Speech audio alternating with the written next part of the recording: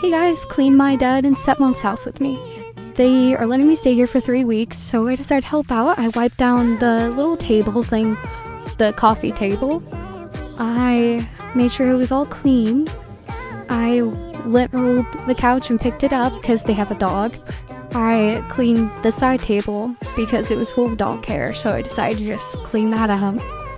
Um, I organized my suitcase, I did some laundry, and I picked up the dog's toys. I hope you guys have a great day. Bye!